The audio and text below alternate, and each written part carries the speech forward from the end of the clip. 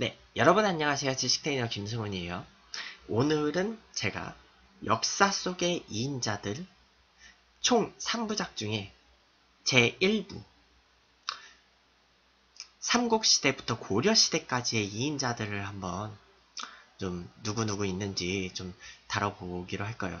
오늘은 근데 부득이하게 그 사진 자료가 없어요. 오늘 부득이하게 사진 자료가 없는 이유가 지금 제가 오늘 이, 입은 옷을 보면 알 수 있듯이 대한민국 승리 싫어하냐? 음, 저 이따 축구 볼 거라서 오늘 되게 좀 약간 편하게 그냥 얘기하는 식으로 하고 이렇게 축구를 볼 거예요. 지금 여기 보면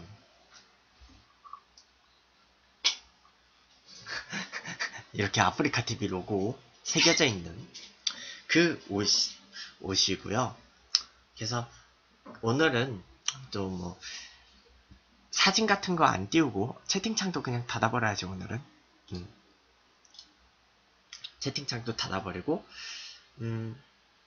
그래서 오늘은 좀 약간 그 여유 있게 한 고려편까지만 좀 얘기를 하고 좀 약간 그런 썰들을 좀 많이 풀 거예요. 그런 썰들을 많이 풀고 그 그 다음에 한 23시 45분부터 그 아프리카 TV에서 그 중계를 해준다고 하더라고요. 그래서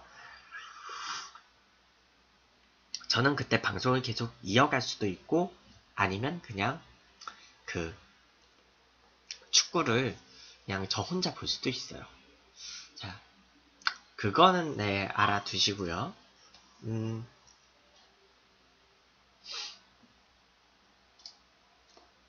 자, 여기서 말하는 2인자는요. 사실 아이디어는 여기서 따왔어요. 바로 제가 아는 분이 쓰신 조선의 2인자들이라는 그 책에서 좀 아이디어를 따왔고요.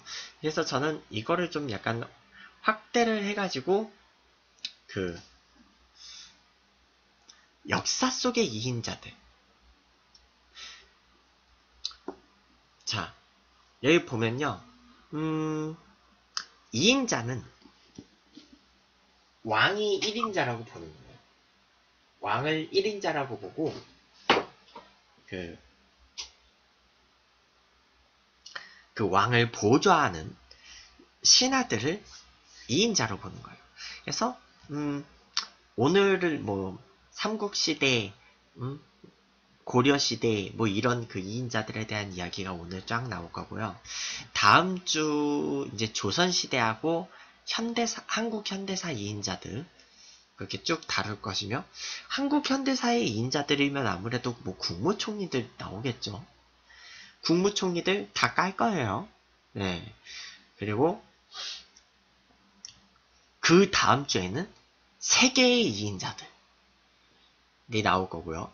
그리고 그 다음 주는 역사 속의 비선 실세를 한번 다뤄보도록 할 거예요. 음, 여인천하 시대에 그 정난정 있잖아요. 물론 정난정은 나중에 그 뭐냐 문정왕으로부터 뭐 무슨 무슨 부인 무슨 무슨 부인 뭐 이런 직첩을 받아요. 그렇기 때문에 어떻게 보면 정난정은 어 그러면 비선실세 아니, 아니잖아요. 무슨 무슨 부인이잖아요. 하는데 음 사실 어 이게 그 정식으로 그런 무슨 국가로부터 어떤 그 직첩을 받지 않은 입장에서 나름 권력을 행사했던 정난정이기 때문에 예. 정난정은 비선실세로 봐야 되겠죠. 음. 그래서 다다음 주 제목은 역사 속의 비선실세 정난정 최순실 정난정 최순실 막 이런 거 그 가도록 하겠어요. 자 그렇고요. 음 자, 그러면 이제 좀 이 제가 이번 그 기획을 하게 된 그 계기를 설명을 드렸으니까 그냥 오늘은 사진 없이 그냥 편하게 좀 이야기를 하면서 설명을 드리도록 할게요. 음, 그러니까 뭐 정당한 방법, 뭐 천거를 받았다든지 과거 제도를 통해서 진출했다든지 그런 인물들을 그 하는 거예요. 천거나 아니면 책봉 이런 걸 통해서 대원군의 경우는 책봉이죠. 음. 자, 그래서 최순실 같은 비선실세는 따로 다룰 예정이기 때문에 여기선 제외하겠다. 왜 지금 다루느냐? 음, 제가 이 시리즈를 끝낼 때쯤에 이 비선실세 그 박근혜 최순실 게이트 관련해서 선고 공판이 열려요.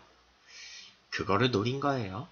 자, 자, 우리 역사상 사실 좀 어느 정도 알려진 2인자는 아무래도 삼국시대부터 가는 거죠. 삼국시대의 그런 2인자들을 보면 아무래도 대부분 다 개국공신들이에요. 신라는 잘 알려지지 않았는데, 음, 신라는 알려지지 않았어. 그런데 고구려 같은 경우는요, 일단은 그 건국이 어디서 좀 뿌리가 내려와가지고 세워진 나라들이에요. 백제 고구, 고구려 백제는. 그래서, 음, 고구려의 시조 주몽을 따라 나선 오이, 마리, 협보 이 세 명이 있어요. 그 중에 저는 협보를 다룰 거예요. 왜냐면 오이랑 마리는요. 고구려 건국 이후에 이제 주몽을 따라다니면서 주몽의 부관이었어요.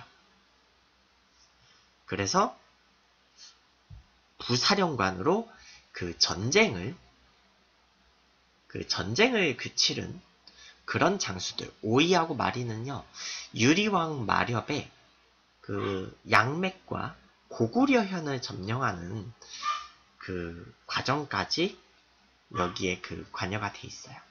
그 왕망의 그 신나라 있을 때. 그리고 협보는 전쟁에 안 나서요. 협보는 전쟁보다는 그 이제 행정관료, 행정관료로 활동한 학자였어요. 그래서 이제 주로 그 중앙에서 고구려 그 개국 초기 그 기틀을 잡았던 그런 개국 공신이었는데 주몽의 아들 유리왕이 음, 기존의 졸본성에서 국내성으로 천도를 해요.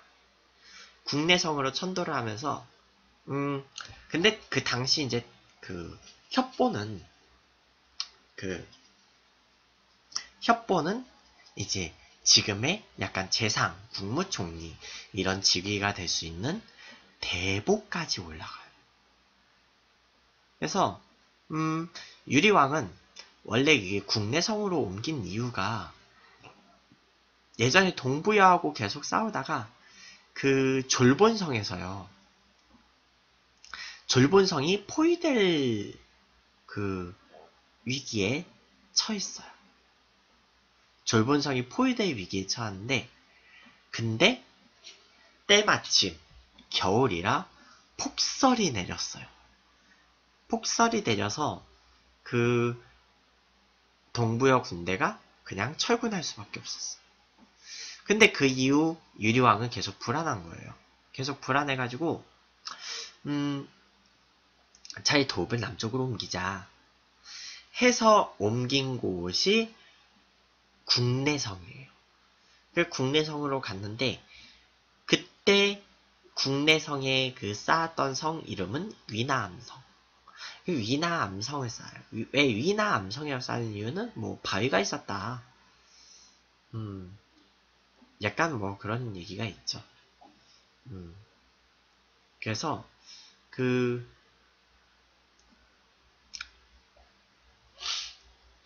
그게 이제 됐는데 뭐냐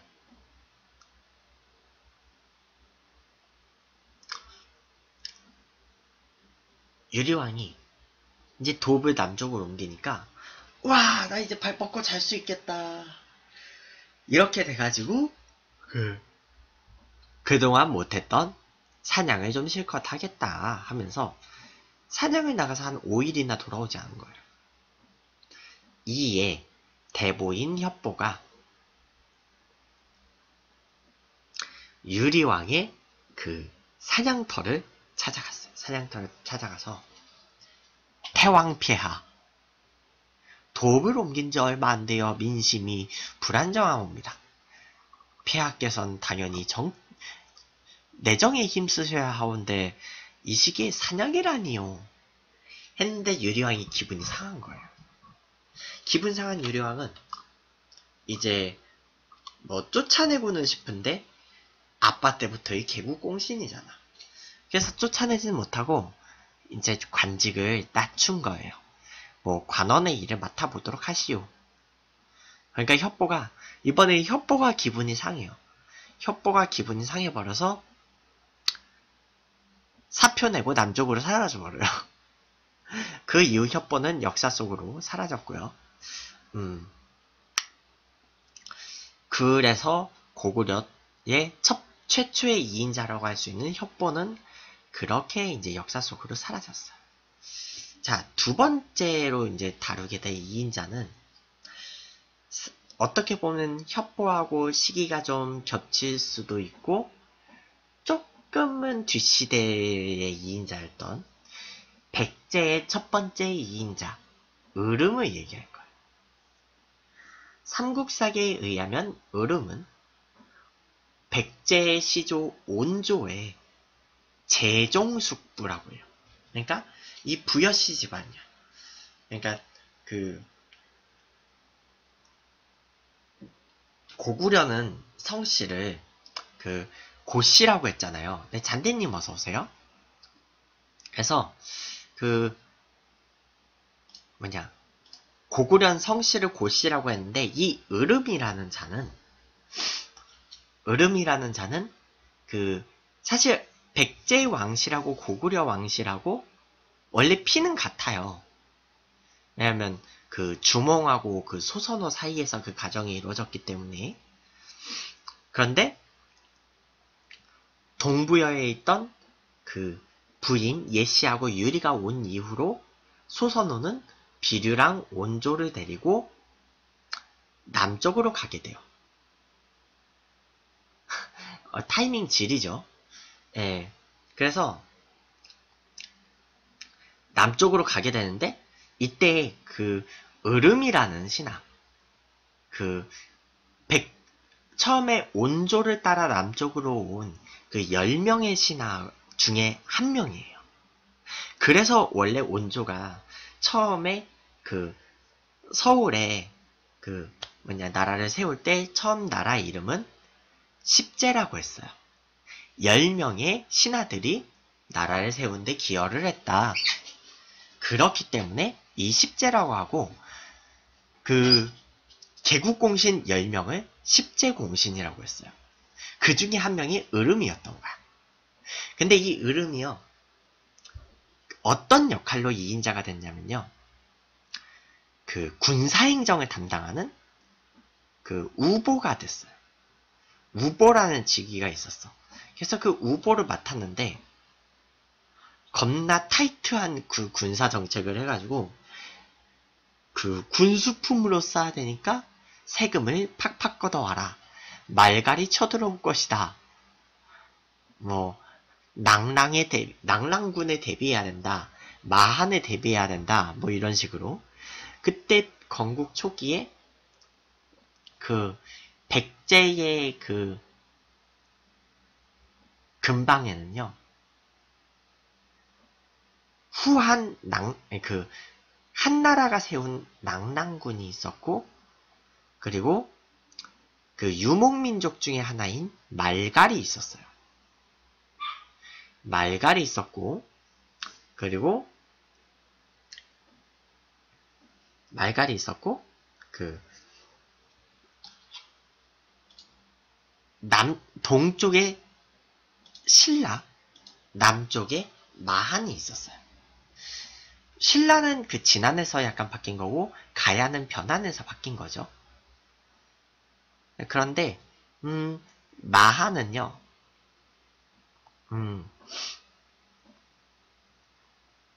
그 마한 세력이 완전히 없어지는 거는 백제 근초고왕 때죠. 네, 그런데 그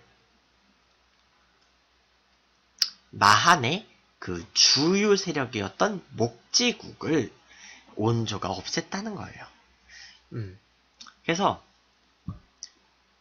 음 이제 백제는 초기에 그런 그 낭랑과 말갈에 대한 그 대립이 있었고요. 그리고 음 이제 지금의 그 위례 신도시가 거기가 위례동이라는 거야. 음. 거기가 뭐 백제 위례성이었다. 약간 그 뭐 그런 썰이 있는데 사실 그 위례성이었다는 그 증거가 딱히 나온 것도 아니에요. 그 위례 신도시를 제가 제대로 뭐 구경을 가본 적이 없기는 한데 음 나중에 뭐 8호선 그 역 하나 생기잖아요. 그리고 뭐 위례 신사 경전철 뭐 만든다고 하고 생기면 가는 거지. 그렇고요. 음, 그래서 경전철 생기면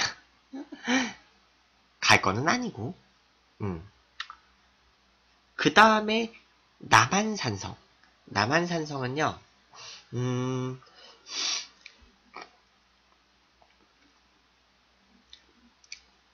흔히 백제에서 부르는 그 한성이 남한산성이었어요.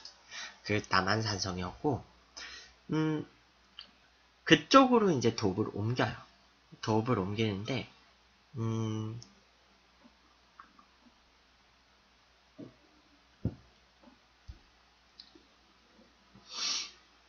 그래서 으름은 이 백제에 대한 군사행정을 40년을 맡아요. 이 40년 동안 그, 그 무엇이냐. 그, 으름은 그, 뭐, 도읍을 그렇게 옮기는데 그, 기여를 하고 또 이제 낙, 마한. 그 마한 정벌을요. 그, 이제 마한이 그 대비를 할 수가 있으니까 그 출병을 할 때요.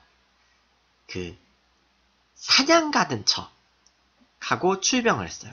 그래서 그 갑옷을 입고 나간 게 아니고요. 아 물론 사냥할 때도 그 갑옷을 입어요. 그러니까 그 사냥하러 나가는 것처럼 사냥 복장에 뭐, 뭐 사냥하러 나가고 그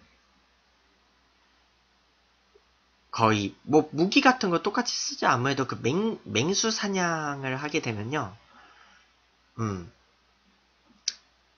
그냥 그 맹, 맹수 사냥 이런 거 하게 되면 아무래도 뭐 거의 전쟁에 나가는 거에 준하는 무장을 하게 돼요.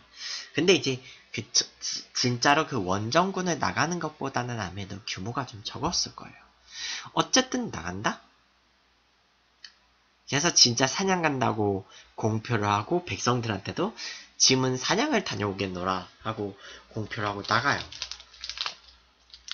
근데 사냥을 간 장소가 그 근처에 그 광주 산맥 그쪽 그 산으로 올라가면 될 것을 그 글로 간 게 아니고 남쪽 마한으로 가가지고 마한을 급습해서 항복을 받아내요.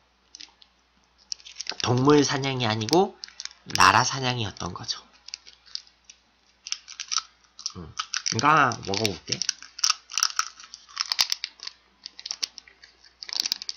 그래서 이제 그때쯤에 이제 으름이 많이 늙어가지고 그 으름이 이제 자기는 관직에서 물러나고 싶다 했는데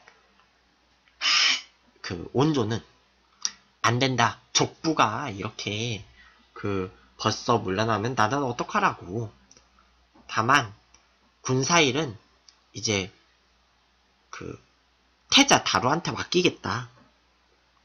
해가지고 그 행정을 나눠요. 그리고 그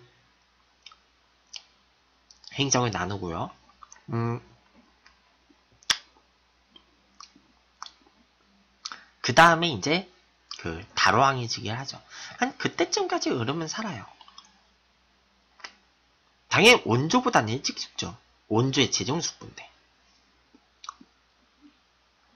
그렇고요.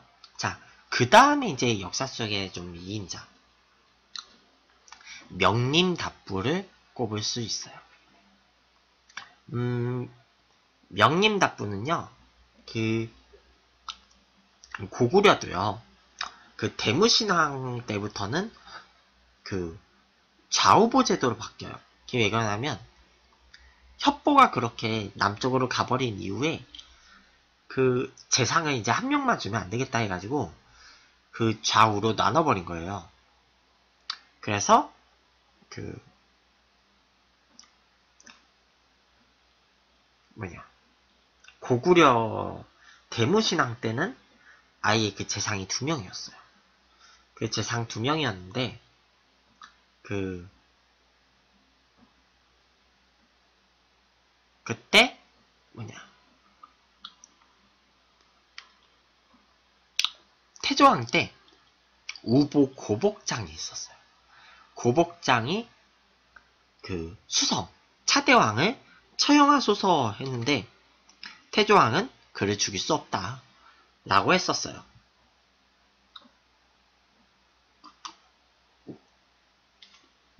그런데 그 수성이 먼저 선수를 쳐서 태조왕의 왕위를 빼앗고 그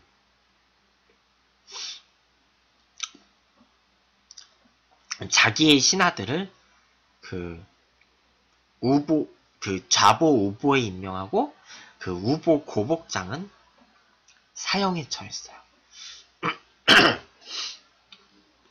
그리고 그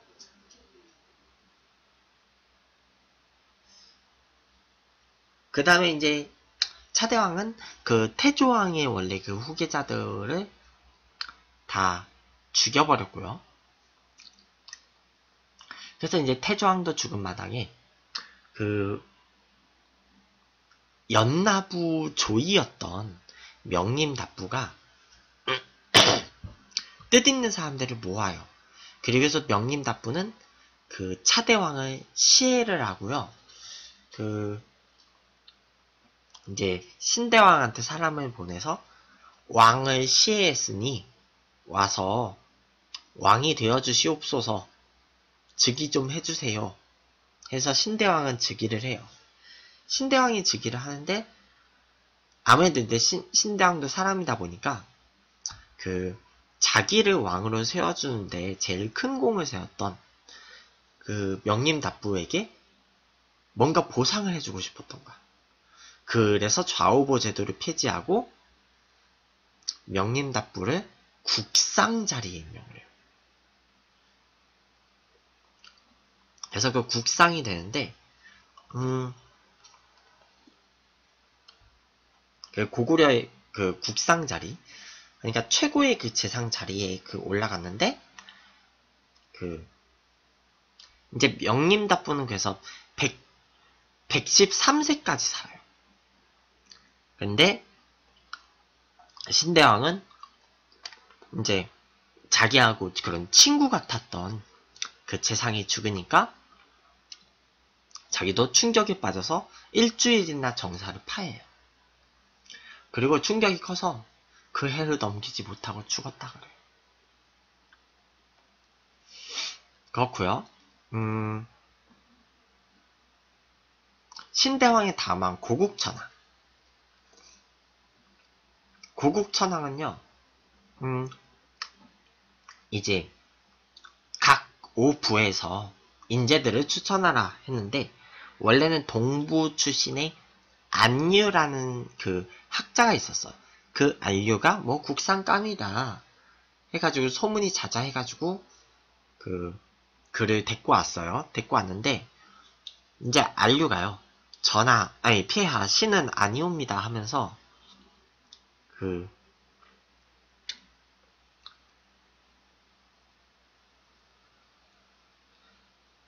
서암록국 서암록곡 좌물촌에 을파소라는 농부가 있어요. 을파소라는 농부가 있으니까 그를 등용을 하세요. 음. 그를 등용해서 그래서 고국천왕은 그래? 그래서 일단은 안류가 이미 그 국상이 됐으니까 그 을파소를 그러면 국상 다음 가는 지위인 중회 대부를 한번 맡겨보자. 근데 을파소는요, 그, 그 정도의 자리로는 그 자기가 뭔가 해보고 싶은 정치를 하기에 좀 부족하다고 판단이 되는 거예요. 그래서 신은 둔하고 굼떠서 음, 폐하의 명령 감당이 어려울 것 같습니다. 그러니 그 현명한 자를 고관으로 삼아서 대업을 이룰소서 하고 물러나려고 했더니 고국천왕이 음 그런 자리로는 좀 부족하다 이거지. 그러니까 옛다 국상 맡아. 그러니까 바로 뒤돌아서 황공하옵니다 폐하. 음.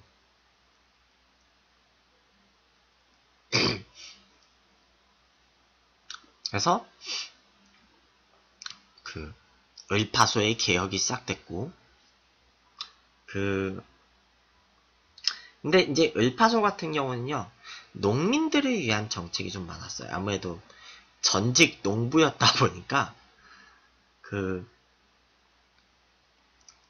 이제 그 백성들을 그 만나러 막 다니다 보니까 막 막 그 이제 수확이 되지 않았을 때 너무 그 가난하게 사는 사람들이 많았던 거예요.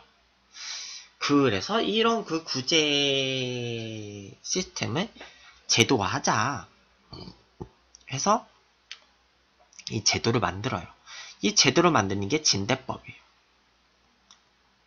진대법이고 그러면 이 진대법은 약 그 추수를 할 때 그러니까 곡식을 좀 빌려주고 추수를 할 때 약간의 이자와 함께 약간의 이자라 그랬어요. 약간의 이자와 함께 돌려받는 제도인데 그러니까 세금 대신 내는 거예요. 음.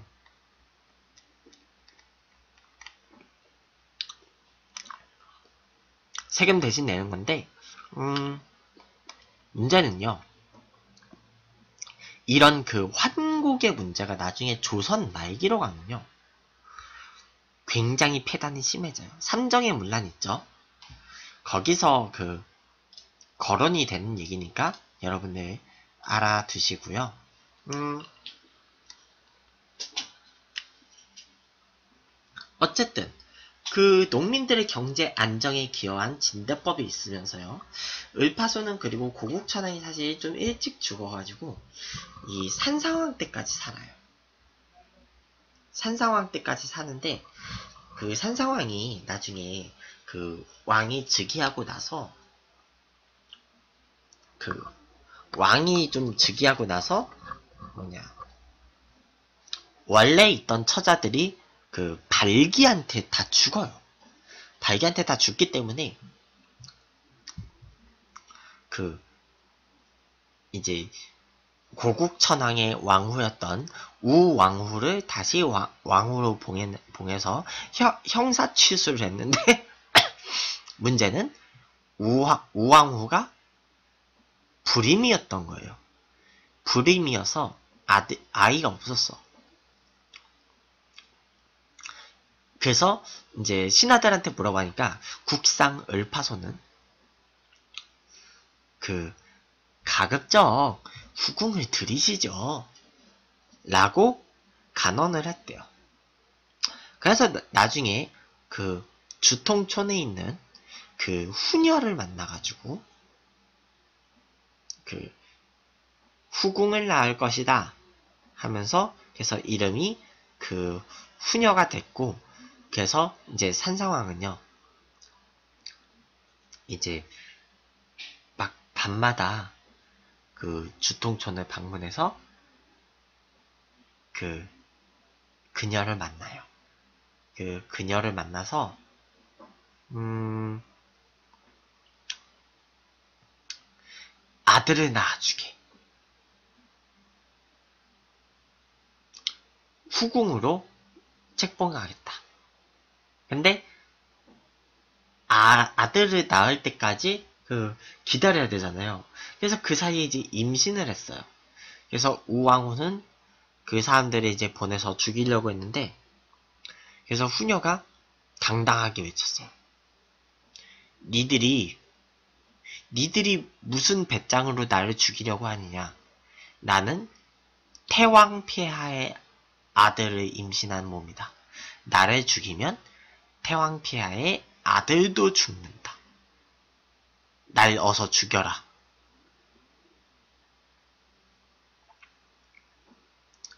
그래서 살았어요. 음. 그래서 이 사건이 있고 난 다음에 산상왕은 그 후녀를 임신한 후녀를 궁으로 데려와서 그 후궁에 책봉을 했고요. 그리고 그 후녀를 통해서 아들을 낳아요. 아들을 낳고 그 태자로 태자로 책봉해서 그 이제 동천왕이 되죠. 그렇고요. 음,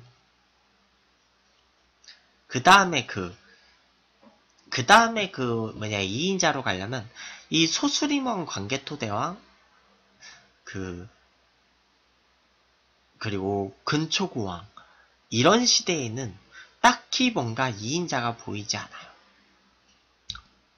2인자가 보이지 않고, 음, 그 다음에 이제 신라 시대로, 신라로 가서, 신라 지증왕 시대에 이사부가 등장해요.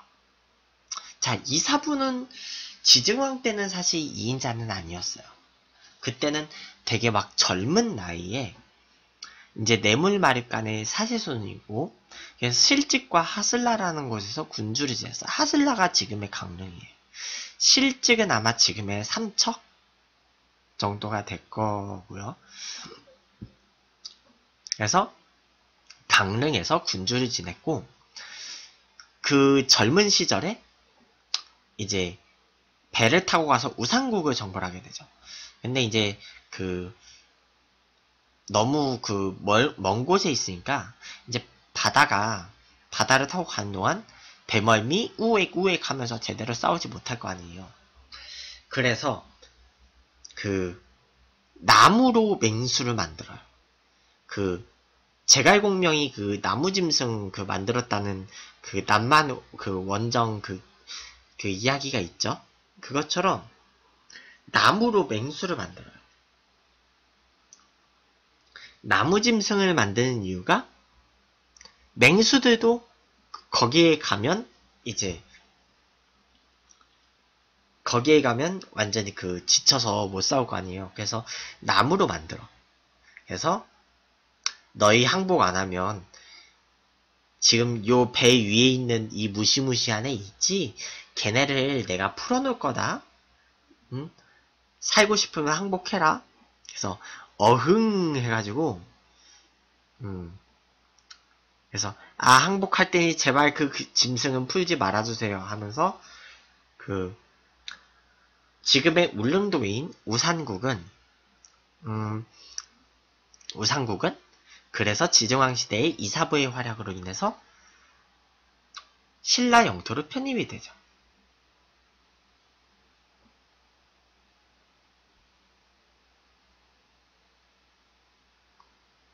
그렇고요. 음...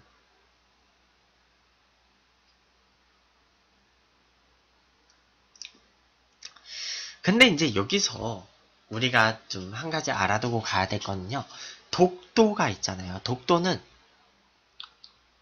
우산국의 부속된 섬이라고가 나와있지 이 사부가 직접 그 독도까지 갔다고 하는 얘기는 없어요. 그러니까 이 사부가 우산국을 정벌을 했기 때문에 독도는 이제 그를 그걸 통해서 그 뭐냐 우산국의 그 부속 영토이니까 그 신라의 영토로 편입이 되는 거다. 약간 이제 그런 식으로 좀 이제 생각을 했으면 좋겠어요. 그렇게 됐고요. 음, 그 공로 이후 이제 이 사부는 그 이후 한 50년 넘게 현역으로 활동을 해요. 50년 넘게 현역으로 활동을 하기 때문에 음 이제 상당히 젊은 나이에 그 우상국 정벌을 실행했을 가능성이 높고요. 음, 신라 법흥왕 시대에는요, 그 이사부가 금관가야 그 정벌에도 기여를 해요. 그래서 이사부 활약으로 금관가의 마지막 왕인 김구해는 법흥왕에게 항복하게 되죠. 그리고 그 김구해가 그 항복을 하면서 그 김구해의 증손자인 김유신이 이제 그 유명한 삼국통일에 그 기여를 하게 되는 거예요. 그렇고 음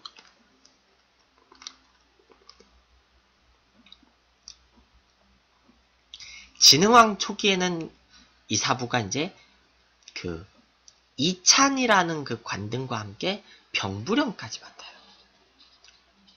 병부령까지 맡아서 그 군사행정을 총괄하게 되고요. 음, 그리고 이제 신라 최초의 정사인 국사를 이 편찬할 것을 건의해요. 그리고 이제 진흥왕은 이제 거칠부한테 그대가 한번 써보지 않겠는가 해가지고 그 신라 최초의 정사인 국사를 편찬을 해요.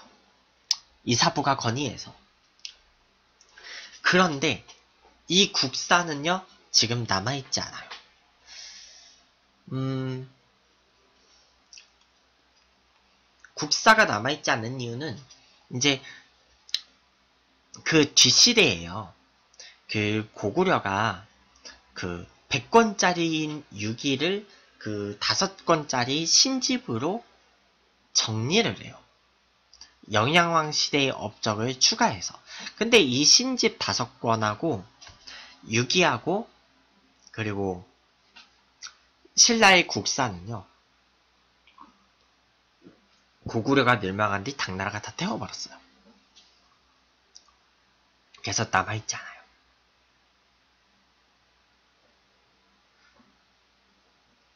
그 다음에 이제 이사부는 서기 550년에 이제 백제랑 고구려가 도살성하고 금연성을 막 서로 막 뺏고 뺏기고 막 그렇게 대립을 하는 동안 걔네들이 힘이 빠지니까 이제 이사부가 나서서 그 도살성하고 금연성, 금연성을 그 둘 다 뺏어버려.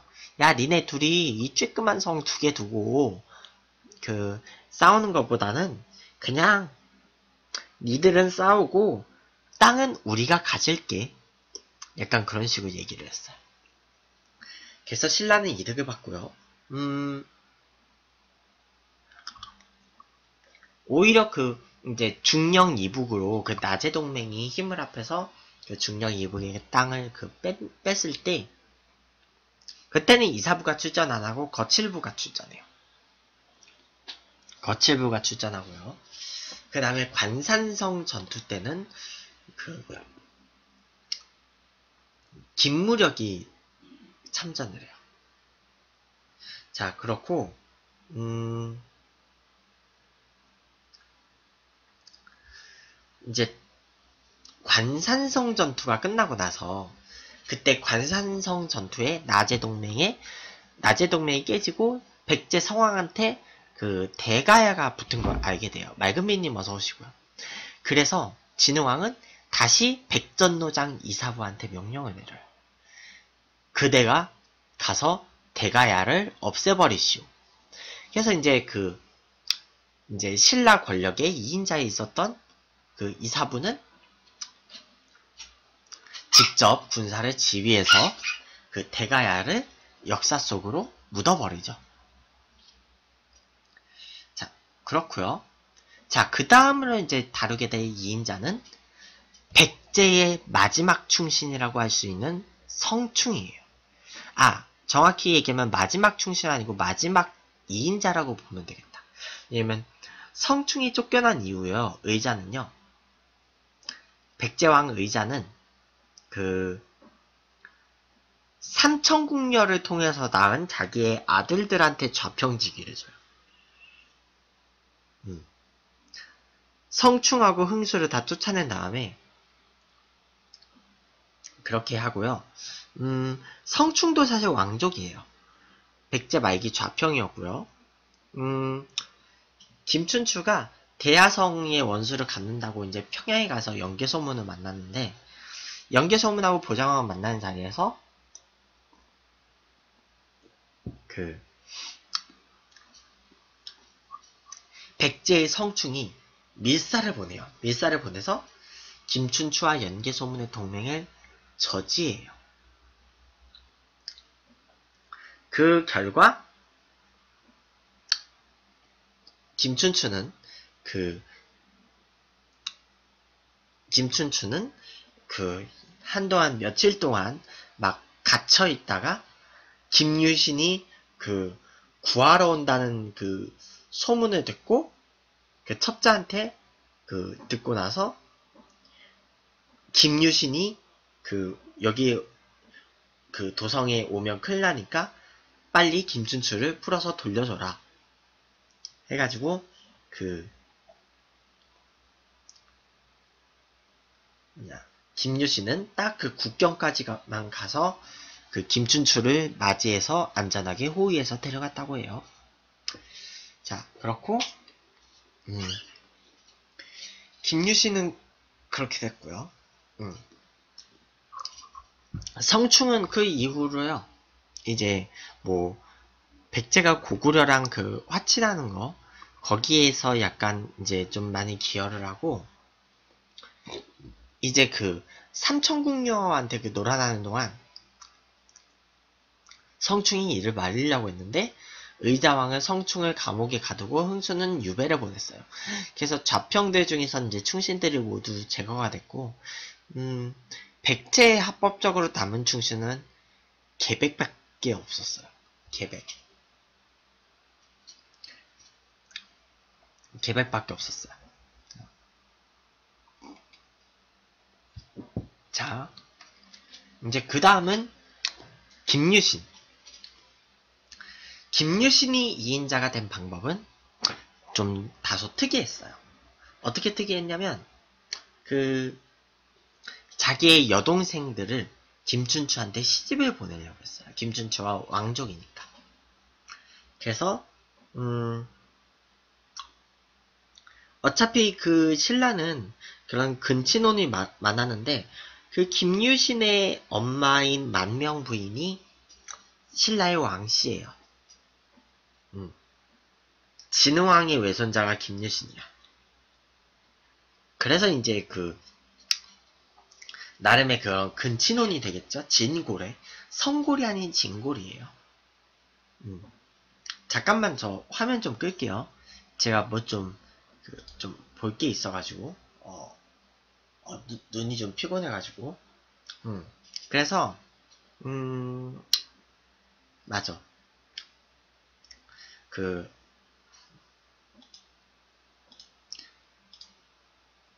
김유신은 그래서 그 왕족이 그 금관가야의 그 왕가하고 그 신라의 왕가가 합쳐져서 태어난 인물이 바로 김유신이에요. 그런 인물이 바로 김유신이고 어 뭐냐 어. 그거 얘기하려고 했죠. 그래서 이제 김유신은 그 김춘추하고 공차기를 하다가 일부러 옷고름을 밟아서 그 뜯어버려요. 옷고름을 일부러 밟아서 그 뜯어버리니까 이제 옷이 찢어져서 집에 못 들어가는 김춘추는 그 뭐냐 김유신의 집으로 와가지고 그 원래 김보이는 오라버니 나는 안 되겠어요 하고 이제 김문희가 그 기회를 놓치지 않은 거예요. 음. 그래서 그 김문희가 그 김춘추의 옷을 그 고쳐주는 동안 김유신은 자리를 좀 살짝 그 피했고요. 음, 그 이후 이제 그 김춘추가요.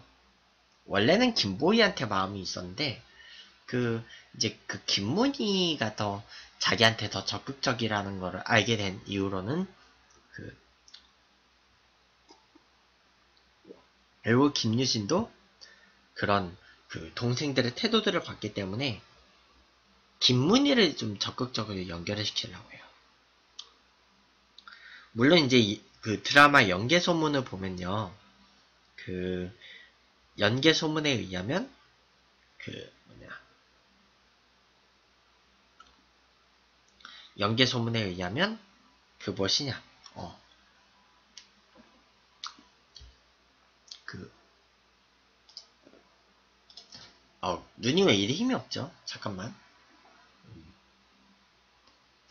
그 연계 소문에 의하면 드라마 연계 소문에서는 그 김보희가 그 캐소문 캐소문 하면서 그 이름을 그 기억을 못 하면서 아마 그러, 그럴 수도 있어.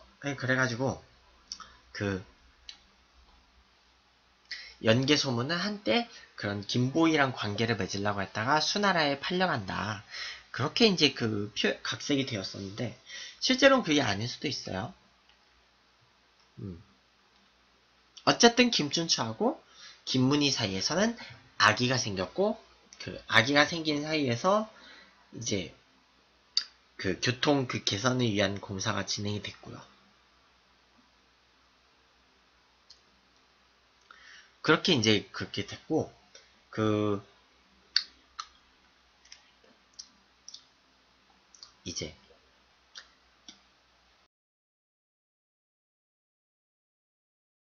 언니 쪽에서 먼저 생겨야 되는데 동생 쪽에 아기가 먼저 생긴 거야. 김춘추도 남자였나 보네요. 그 김춘추 뭐냐 그 자기 아내를 그렇게 뭐 늙은 사람으로 골린 건 아니다. 뭐 그런 것처럼 뭐 그래요. 음. 아이고 아우 어깨야.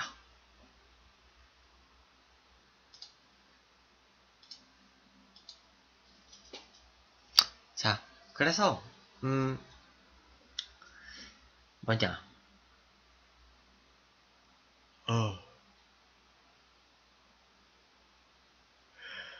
어. 음. 그래서 이제 그 김유시 김유시는 그 선덕여왕이 허락을 하게끔 선덕여왕이 그 남산에 외출하는 날짜를 맞춰서 일부러 그 서라벌 시민들한테 공표하고 문의를 불태워 죽이려고 했어요. 그 결과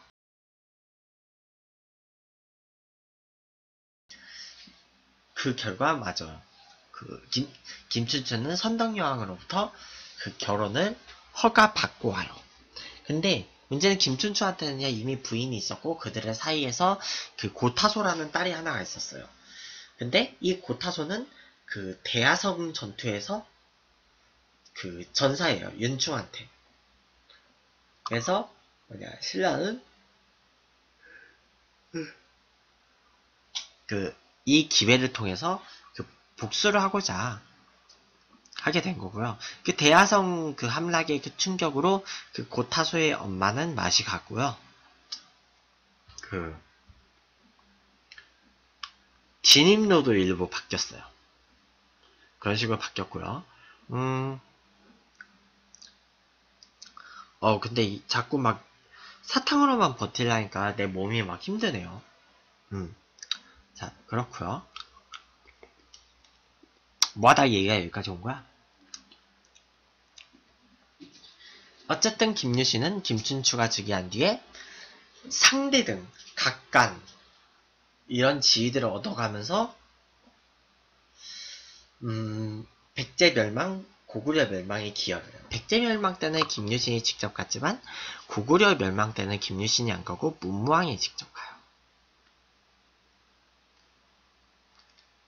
어쨌든 어? 왜 끊겼지?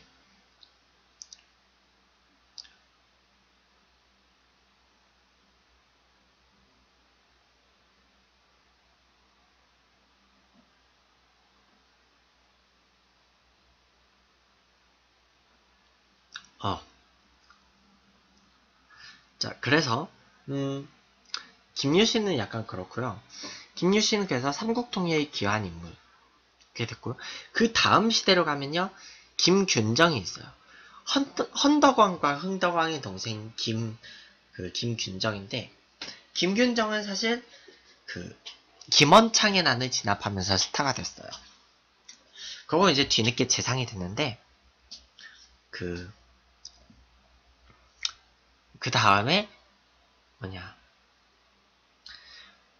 그, 김균정은 이홍이라는 무사한테 살해가 돼요. 그리고 아들 김우징은 감옥에 갇혔다가 겨우 그 탈출하고 그 김우징은 탈출해서 그 청해진 대사 장보고에 찾아가죠. 그래서 이제 장보고가 되는데 음 장보고 음 어. 장보고는 그렇다 쳐요. 자, 이제 그러고 나서, 그, 와, 맞아. 흥덕왕이 죽고, 김균정도 죽고, 그래서 김우징은 결국, 그, 경주로 반란을 일으켜서 그 성공하는데, 문제는 그, 경주로 가기 전에 이제 있는 그런, 그, 뭐냐, 과정에서, 그, 청해진에 있을 때, 희강왕이 자살을 해요. 그렇고요. 음, 어 머리야. 어.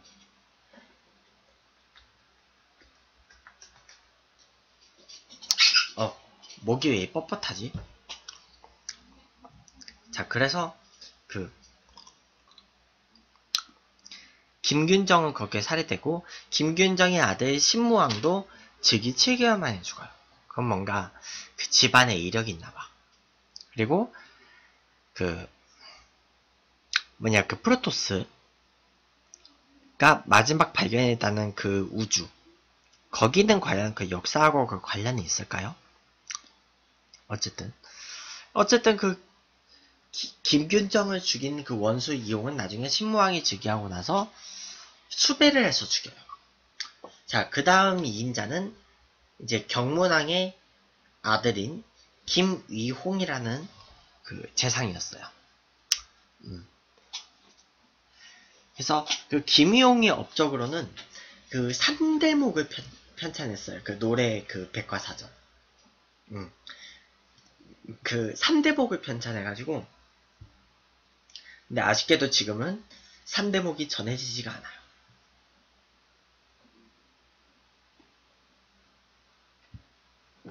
어.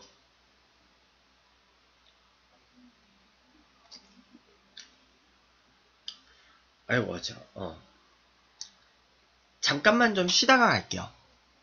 자, 여기서 그 다시 보기를 좀 나눌게요.